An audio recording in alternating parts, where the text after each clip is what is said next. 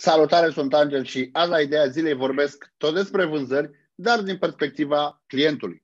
Orice client sau potențial client cumpără ceea ce poate obține dacă folosește produsul respectiv serviciul tău. Pe scurt, cumpără beneficiile pe care le primește și de care se bucură, bineînțeles, după ce folosește produsul și sau serviciul tău. Beneficiul este ceea ce face produsul tău pentru cel care îl folosește orice client este atent la ce se întâmplă după ce are produsul sau serviciul de la tine, cum este și corect de altfel.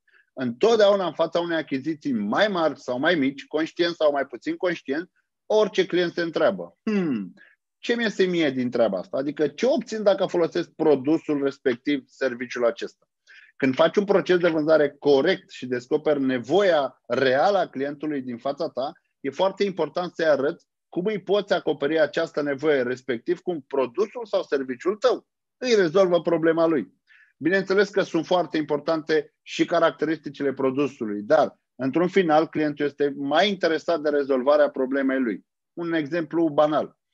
Te interesează 100% cum funcționează telefonul tău, cum au gândit procesele inginerii sau vrei să știi dacă ai funcțiile utile pentru tine?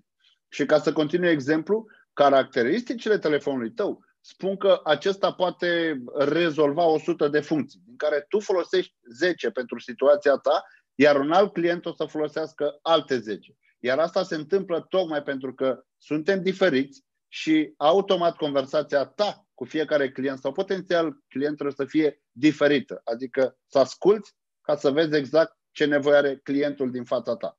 Un alt exemplu, banal de altfel, izolația de X centimetri cu material extra, mega, giga, super. Se poate să nu spună absolut nimic pentru clientul tău. Pe când? Iarna căldura se face mult mai rapid și rămâne mai mult timp în casă. Iar vara răcoarea se păstrează pe termen delungat pentru că izolația, etc., etc. Sună altfel și deja am înțeles beneficiul de a avea acea izolație. După ce arăți clientului tău cum îi rezolvă problema lui, produsul respectiv, serviciul tău, sunt necesare și alte detalii. Dar ca să ai mai mari șanse de reușite, eu îți recomand să încep cu ceea ce este acum important pentru clientul tău. Ce obține, cum îi rezolvă problema, dorința, etc.